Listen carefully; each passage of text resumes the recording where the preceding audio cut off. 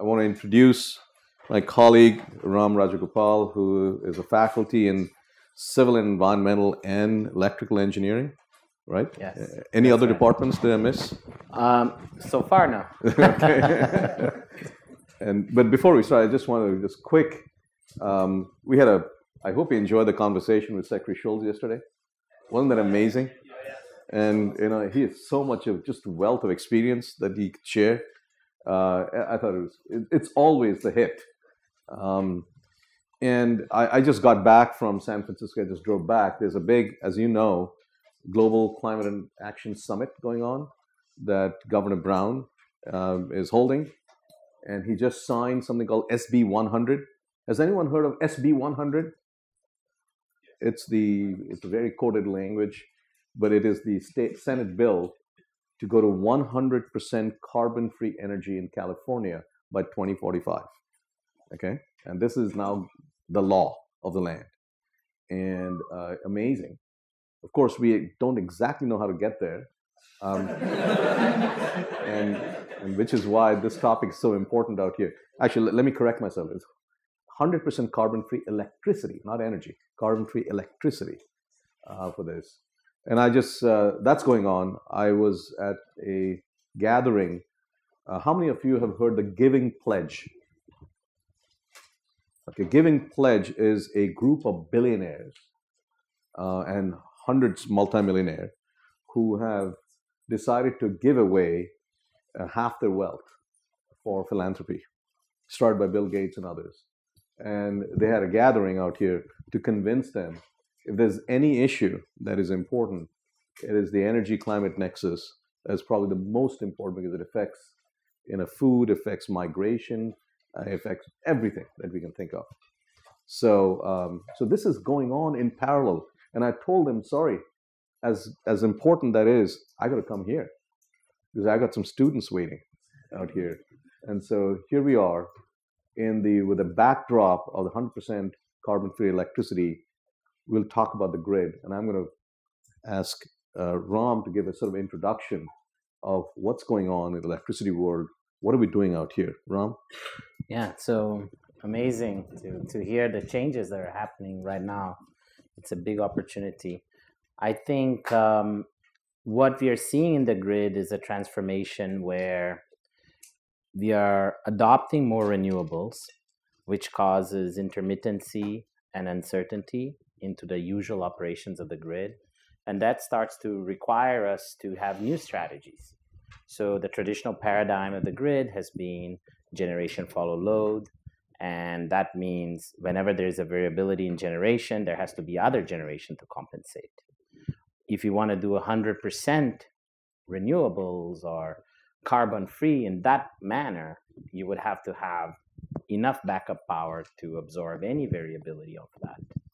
Um, I think the first challenge that we're facing is regarding how to use the all the other resources in the grid, from transmission level storage to the ability to control the transmission system, all the way down to the distribution network, customers, and um, all other assets in order to balance the system better. And I think that also opens up questions around markets, policies, business models, and various other things.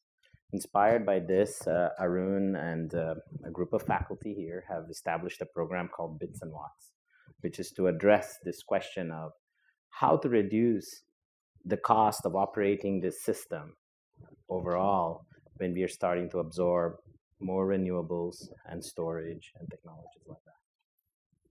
That's right. I mean, the goal is to decarbonize the grid because if you don't, um, we won't be decarbonized at all because the transportation is moving to the electricity as well. So we are seeing some massive changes going on. And I think in the next 20 to 30 years, we are going to see a very different energy system. Uh, there are countries that are announcing that they're going kind of all EV and, or no gasoline car sales after 2030, 2045. You take the number, um, and you know, and it's going to it's going to happen. So as a result, and they're all relying on the grid. And the grid, as as uh, Ram pointed out, is going to have volatility at both ends. On one end is the solar and wind integration because they're just the cheapest. Okay, um, and this is purely economics, and I call it this way: economic will always trump politics. Okay, and um, economically, that's the most affordable thing to do.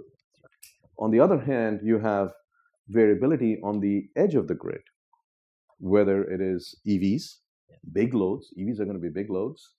We will have networked thermostats uh, that we can somehow someone can remotely you can sit out here open up an app you can change your load and if someone does it for you and if the 100000 homes go up one degree celsius in the set point and thereby the load goes down suddenly it can destabilize the distribution network so suddenly you find volatility at both ends of the grid That's correct. and you know how to manage that is a non-trivial That's correct. aspect and right Very important. And Arun, maybe it's worth if you share a little bit of your experience of how these changes are happening, not just in the United States. That's right. Yeah, this is happening worldwide. Yeah. it, it is. Um, it is a problem, not just the U.S. grid, um, but Europe and India and China, etc. and it's even faster there. It's faster. There. That's right. And the infrastructure is different, and and we need solutions that can be customized, tailor made in all these different places around the world. Yeah. So it's an enormous challenge. And we are still living in the architecture architecture of the Tesla Edison grid. That's where we are, and it was never designed for all of these variabilities. That's right. So, why is the name of our initiative Bits and Watts? Because in Tesla and Edison's time, the only mechanism of communicating between load and generation was frequency. That was the only. So, you know, if you have, if the load goes up, the frequency goes down. And so someone turns on the generator up so that the frequency comes back to 60 hertz in the United States, 50 hertz in other parts of the world. That's how the communication happened. That's how the grid is run today after 120 years. It's still run the same way. And so we are saying that, well, maybe we could do better. Not to say that we'll throw away the old system, but the idea of bits is data. We all hear, I'm sure you've heard about something called IoT, right? Internet of Things. Well, um, in this case, we will have IoT, but these IoTs will have to satisfy the laws of physics, whereas your Fitbit does not have to satisfy the laws of physics, at least the electricity physics. So this is the challenge that we have. How do you take data from number of sources around the grid, with this transmission system, substation, your home, everything else, and how do you coordinate in a way that can rewire the grid in a virtual way and still manage the volatility at both ends? And this is a, not just a technical problem; it is a markets, it's a pricing issue, it's Yeah. a business model. Someone has to make money, otherwise it won't last. because the whole design of the whole thing was made assuming the grid as today is what's operating and all the other elements was were designed on top of it if you change that now we have to rethink everything and um, i think it's a it's a very exciting time Very exciting. as if you're an engineer and you're passionate about this it's super time and the corporations in bits and watts from all over the world. And they want to come and join. They more want to come and join. And i hope you guys join as well if you're interested in this topic. But maybe you could give a few examples of projects that are going on the educations. Yeah, I so first of all, the first principle we had in Bits and Watts was to give to have a comprehensive education. So we have classes ranging from classes in the business school to classes in the School of Engineering and so on. So my course, as an example, is a course that is called Modern Power Engineering, and it, it is not your traditional plain vanilla power systems class because what we learned with you guys from the feedback of students from the feedback of industry from the feedback of faculty is we need students who are prepared to piece the systems together and have a holistic understanding of how the grid works how to model this whole thing and be able to simulate things in the computer work with data and so on. Not just your traditional power calculations and wire sizing transformer sizing. I think those people are very well aware of how to do. And we are now going into this new world where as an engineer in this place you need to know know electrical engineering, you need to know economics, you need to know civil infrastructure engineering, you need to know, of course, energy systems engineering. And you need to have this idea of how these things piece with each other. And if I change this, how it affects the rest. You, you can't really change one thing and by yourself solve the problem. I think that that's the big challenge and why it is also um, an exciting challenge. If you are in the side of learning, you can learn so many things. That's on the education side. On the research side, we started, the first concept we had was to bring machine learning and AI to grid research. Um, we, we, for those who took the master class, you saw some examples of that. Arun also gave an example uh, of DeepSolar, of how you can apply AI. Uh, maybe Arun, you can give some examples of what you did at Google as well. Sure. So when I was at Google, um, you know, we um, asked the question that okay, so Google, if you go to the data center, it's uh, it uses megawatts of power, and there's some amazing technology internally within Google uh, on managing electrical power. Uh, it's a grid in itself, and in fact, high voltage grid uh, inside the data center because it reduces losses then, and it's cheaper, and um, and it enables computing. And we ask the question, okay, can we flip that around, and can we have computing, uh, the most modern network distributed computing, um, enable the grid? So flip that around, and uh, especially with a view that if you're looking at those two, one and a half to two billion people who do not have access to the Tesla Edison grid. Um, do you still want to string them along? And do you want to leapfrog them from the 19th century to the 20th century or 19th century to the 21st century? And that's the question we asked. And we had a whole program within Google called the Bug Project, the bottom up grid. Instead of bringing top down, now that solar and, and storage and all is so cheap, can we develop microgrid solutions? And can we do it in such a way that a 10 year old kid can put the grid together like an extension cord, which is how it happens in many parts of the world where there is no grid. Is like they keep, you know, you know, daisy chaining um, and wires, and soon enough. But you got to make it safe. You got to make it automated. You know, there is no, there's no half automation. Is there's like there's no half pregnancy.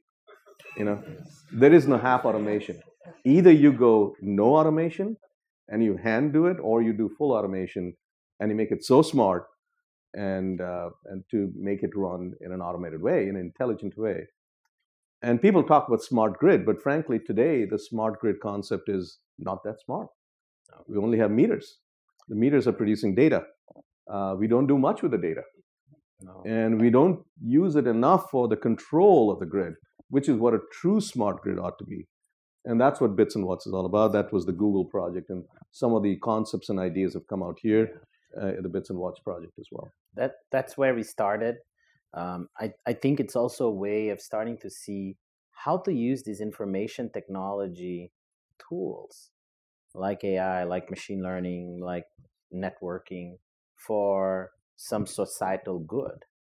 And energy is an area that can have an enormous impact. You have been seeing this this whole week.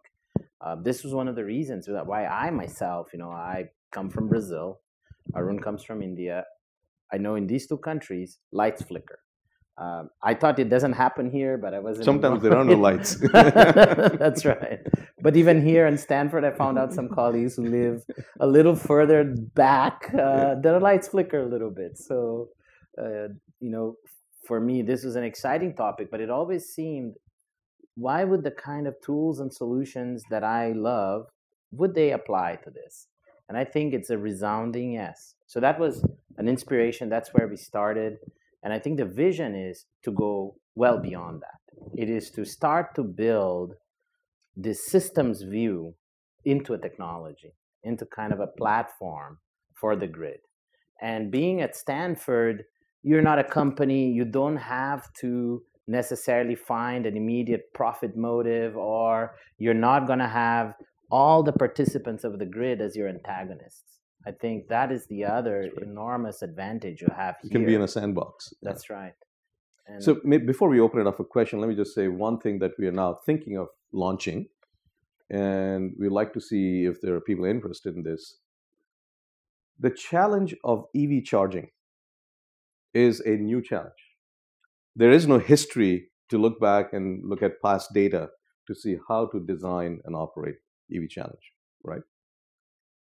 EV charging is, is, is variable in time and space renewable generation is variable in time. but We know the where the space is. In between, there's a grid. Sometimes there'll be congestion on the grid.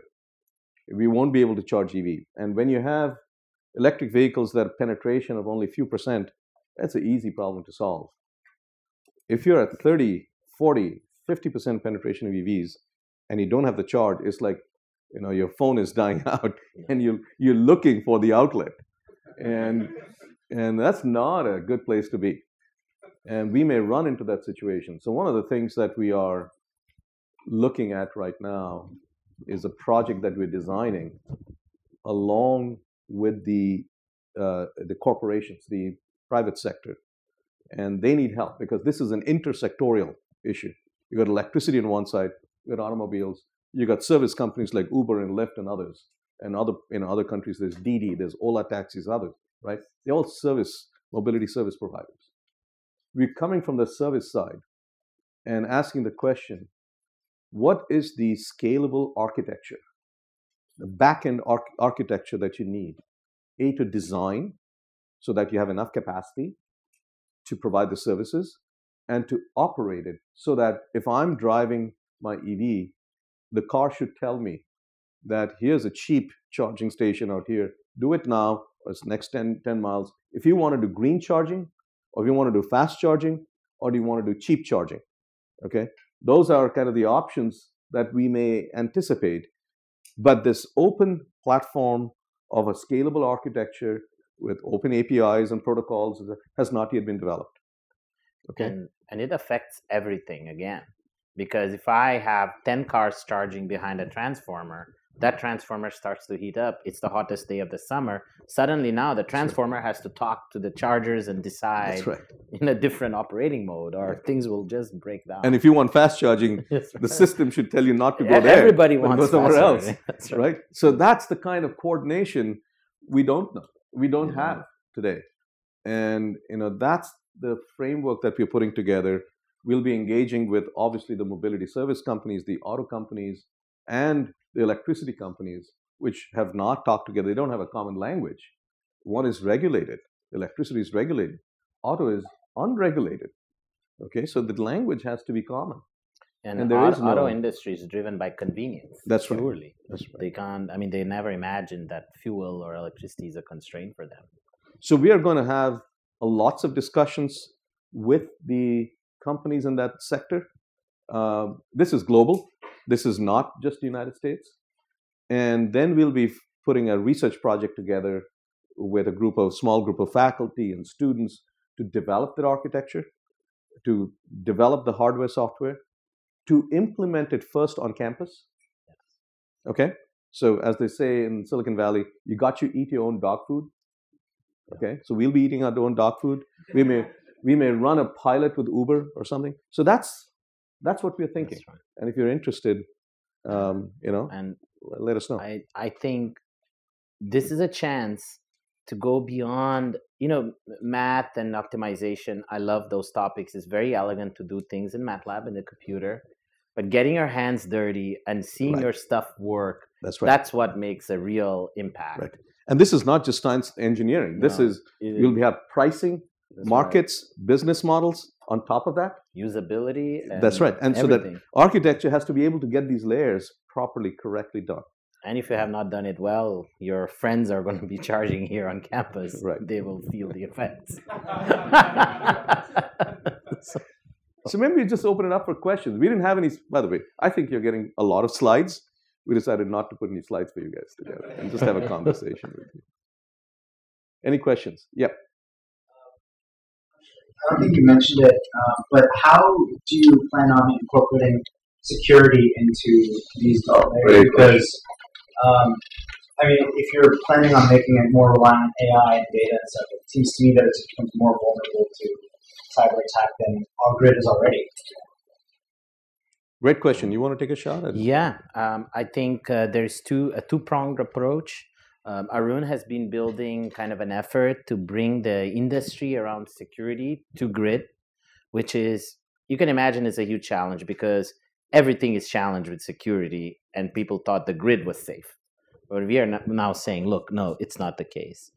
The second one is internally at Stanford. We have the award winning team. It's a team of students who go and win the hacking competition where they're supposed to hack corporate systems and then defend corporate systems. I think they place first on the hacking, second on the defending, or something like that. so something like that. And they came and saw the lab that we put together for you guys. And they were just so excited because they said, we just see so many opportunities to hack. It's amazing it's like a carnival. It's I can just do this all day. So through the university, I think we want to find students who have this passion for security and working with some faculty in the area and with this group from computer science to to figure out this question. It's not a simple question. You you ask industry, some guys will tell you it's solved until the next time things are hacked, and then then it's not solved. So it's a very, it's a it's a it's, you know it's a spy versus spy. How many how many of you read the Mad comic book Spy? spy yeah, yeah, right. so this is it's going to go on, right? And I think the the topic of cyber is so important, and you know you cannot add a security protocol to a communication link and say, "Oh, we are all safe." It is not. That's right. We got to think of it like a system. And we got to have cyber in mind when you design the whole system. And for the EV infrastructure, charging infrastructure, I think that's an opportunity to think of it as a system for all the the attack envelope, etc. Sort of looking at that right. and figuring because, it out. You know, if if you have a system that's operating at its limit, maybe I add five more cars for charging. I'm not even hacking in the traditional sense. I can bring down some portion of of That's my right. local grid and all of these kind of things have to be figured out. I think there's there's a lot we don't have machine to machine uh, two step authentication right. so we have when you, when you when you put your atm they ask you for your number and you put your number that's a two step authentication. That's we right. don't have machine to machine two step authentication. So trying to automate a system we have to figure that out. So those are many many challenges involved in this but good question. I think over there and we'll come over here and over there so, kind of regarding the electric vehicle ecosystem that you were talking about earlier, uh, I was curious because you mentioned uh, the market penetration needs to go to 50%, that there might be congestion issues and lots of people trying to charge at the same time. But from, you know, I'm thinking that if we have 30 to 40 market penetration, hopefully that means that batteries are pretty decent at that time, that we have a fleet of moving batteries that can do the opposite, you know, provide energy to the grid from the and so I'm curious about what you guys thought about the viability of that idea and how um, that kind of more shared approach to alleviating any sort of tension. Um, Great question. Yeah, I, I think um, when we think about these problems, we do think about the possibility of two way charging and discharging. And we should point out for 10 cars, 20 cars in the Navy parking lot, people have shown all of this is possible. But those ideas don't really scale out for tens of thousands of cars. And one lesson I learned through the grid and through my career is these kind of scaling problems. Sometimes you only learn the actual questions you need to answer as you are doing the problem. You'll start to discover many of these issues. So, in an idealized world, of course, you would love to have this two way charging, discharging. Um, but figuring out what is going to be the bottleneck for that uh, is it consumer acceptance is it some technology issue is it the fact that maybe in the grid things are much more balanced just by the charging side and so yeah. on so it's a big i mean i think the grid my intuition is that the two-way power flow is more difficult problem than the one-way because the grid yeah. the distribution network was never designed for two-way right. and so this is a major issue uh, if you are to go that way by the way in the United States, none of the EVs are bidirectional. The same Nissan Leaf that is unidirectional over here for charging is bidirectional in Japan because of regulation. It's mandated. And they just have to flip a switch, frankly. Okay, and that's because they had Fukushima and they needed power. And so they decided that's what they're going to do. And you know, if you look at a 25 kilowatt hour battery, which a Tesla, uh, which a Nissan Leaf has, roughly 25 kilowatt hours, you can run your home the whole day. Right? The whole the whole day can be run on a single battery charge because your home is typically about a kilowatt hour average, and you got 24 hours. That's roughly a day. Yeah, I think there there was over here, then there was over there, and then I'll come over there, and then over there. Yeah. Yeah. Now, when it comes to all these devices and uh, time and space, they're being interconnected just like IoT uh, for, and I go from a small size to a big size. We're talking about a gigantic computational computing power right here. Now, there comes the question of where does that com- computing is happening? Is it like happening at a centralized place or at some edge or edge? I think a lot of that is going to be. It'll be a combination of, and IoT is basically a, in a colloquial jargon for networked embedded systems. There'll be some embedding of computing um, in locally that'll provide the stability of the grid, etc. They'll be all networked to the cloud, and they'll be where the f- past data will be stored, which will be analyzed and actually acted upon to send signals down to the grid and and thereby optimize this thing. Yeah. That's the vision that we have. Yeah, I think it's intelligence partitioning, but That's right. I think um, what we are learning is even the scaling of the cloud and on all of these issues are so important that I think you know Google is part of Absolutely. bits and watts, and because right. they have to figure out you know can this kind of system support and the partitioning will be based on economics. Yeah. You know, how much storage do you want over there? How much computing power do you want over there, as opposed to um, the cloud, which is really cheap right now. So that's the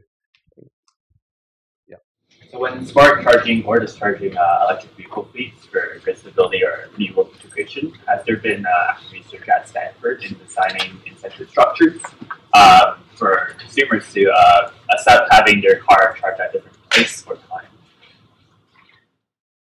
Yeah, there there has been some small scale efforts of on research. I think um, the research typically starts with some model of how users value their charging, and in my opinion, because I myself am author of some research like that, I think the weakness of that is we don't really understand that, and part of why we want to build this test bed is to kind of learn about these incentive structures and starting and, and start to design maybe something completely new. Maybe you don't charge you don't pay each time you go. Maybe it's a flat rate. fee. Maybe it's a flat rate or and something, right? that's right Today, the electricity system is run based on dollars per kilowatt hour. or maybe if you enable your car to be two-way you're paid for paid, that's right. for, for that and But dollars per kilowatt hour is a pretty old way of thinking about it because if you're doing fast charging, um, you should be paying dollars per kilowatt, right? I mean, so I think there are lots of very interesting pricing models that will come out of this. But it's a great question because the the markets and the business models and all will have to be overlaid on, on, On a that. platform of some kind. and, So- and then the consumer acceptance Right. it's another issue There was a question over there and then over here and then I'll come over here. And we are then running out of time. Yeah. This has always been a factor in my mind. So comparing to exploring the flexibility in the distribution system uh, and deploying all those smart infrastructures, uh, what do you think about we're building uh, even stronger and robust grid? That, like in uh, China, uh, several years ago, people have suggested we set up the construction market, and then operator said, we don't even have construction here. Why do we build this market? So that that says there is a really strong grid there in some places of China. So, so is your question about why not invest on a stronger network? Um, and I think Arun, when you were in ARPA, when you created ARPA, I think this was one of the issues you looked Absolutely, up deeply. I mean, you, you have to create a strong grid. There's no question about it. It's at the end of the day, it comes back to the question of what is economics. Okay, so you can add a lot of resources to the grid and make it very strong and resilient and all that. Um, but someone has to pay for it. And the you can you don't want to over design too much. And I think that's the question is that's the tension between how much technology uh, to make it strong, stronger, and how much cost. And I think that's the optimization that has to be played out within a regulatory framework. The Chinese regulatory framework is very different from the US one. Even within US, it's different. You know, as um, how many people are in the law school? Um, Justice Brandeis. Do you know who Justice Brandeis is? He had a very famous saying. The United States, we have uh, a laboratory. The states, we have 50 laboratories of democracy going on. Okay, that's Justice Brandeis, right? And so in the United States, the electricity system is not quite 50, but it's like 30 or so different experiments that are going on right now. And there's different regulatory frameworks. And I think the solutions will have to be cast in economic, regulatory, as well as technology. There's no one solution. Yep. You had. No, go, go Are there any examples of cities which use or are constructing this kind of smart systems now? installed in a city, I think uh, plenty at different scales. Um, for example, um, the whole of Netherlands, there, there's been a very large scale effort to uh, support EVs and uh, add a lot of these resources in homes. Um, I think in the US, we have had efforts supported by the state in here in California itself. Campuses. The UC San Diego campuses, the UC UC, San San Diego Diego, that's right. is a wonderful test bed. Mm, Navy and Army That's right. campuses as well. Um, so, so there is plenty of examples. And, But- and I would also add to that that Stanford campus, our energy systems folks that run the energy system on our campus are extremely open. This is not common.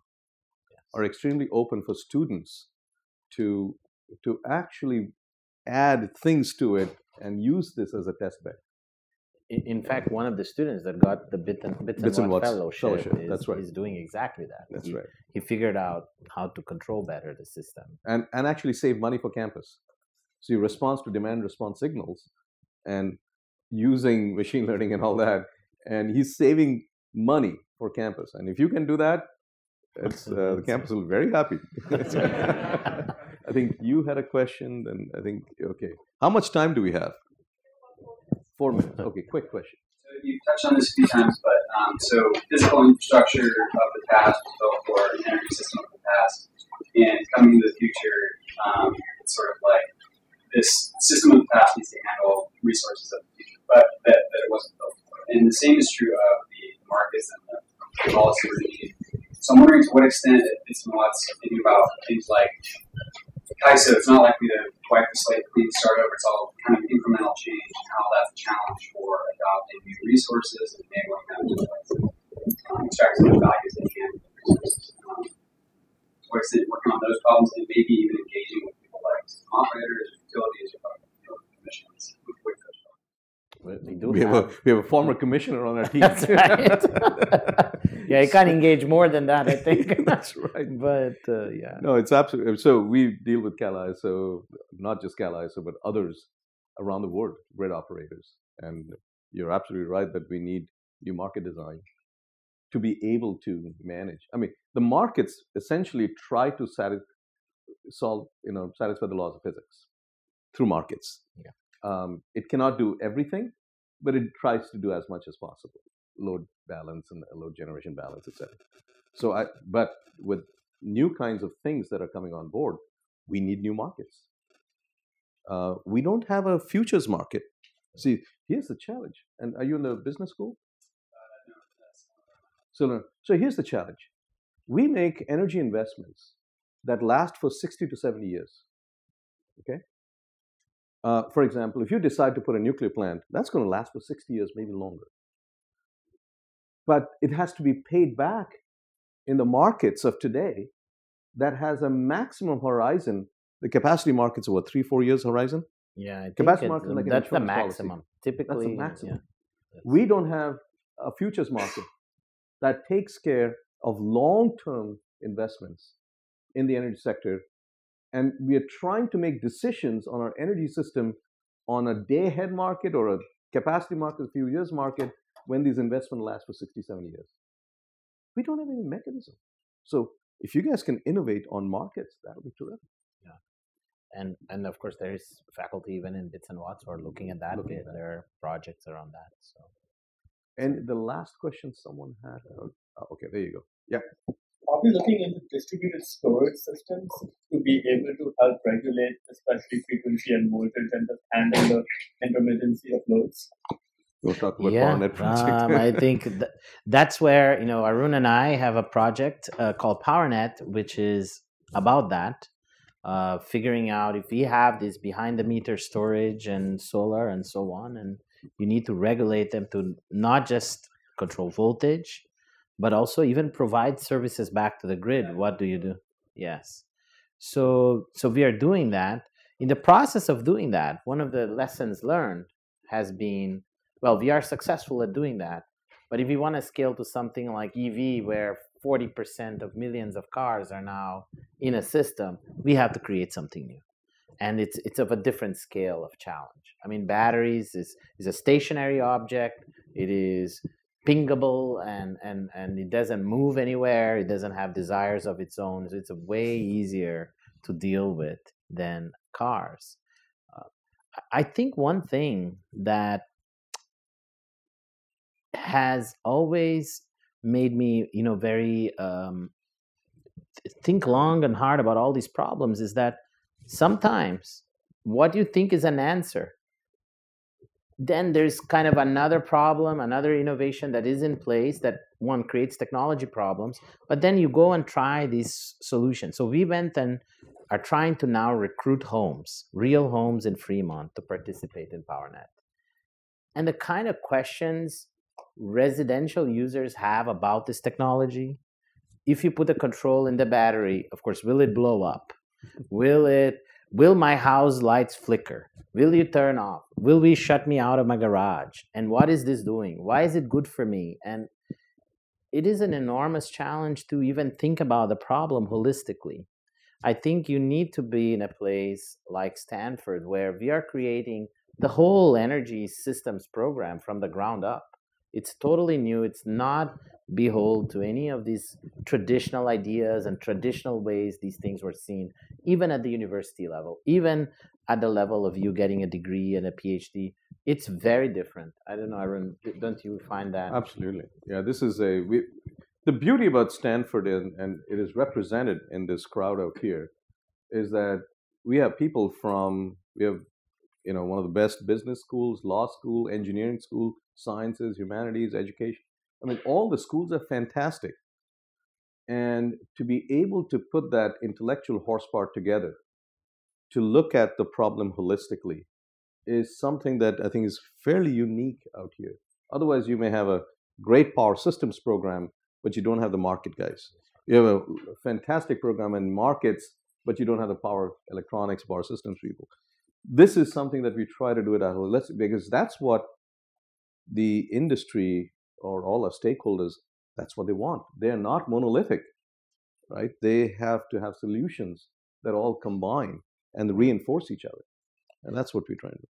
I, I think it's super exciting and it's a place you can have you know a person like arun and and his enormous experience with this real world side so this is another change in perspective you may want to make as well.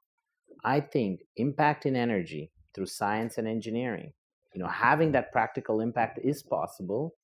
We are trying to build up the means to help you do that and this is a place we encourage you to do that.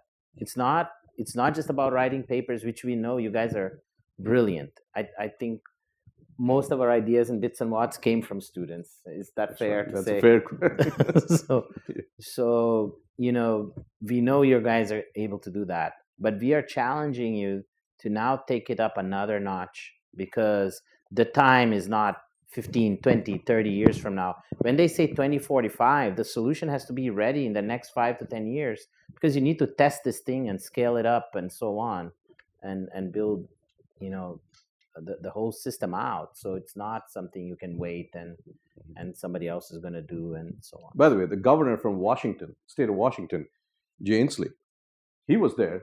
And when he heard the governor uh, of California, we had a dinner all together. The governor of California said by 2045, he's, he piped up and said, Washington will do it at 2044. so there's a race going on between the state of Washington and the state of California, which is a wonderful thing to have. That's right. Maybe we can automate the whole campus energy system and all the EV charging even in the next 10 years or five years.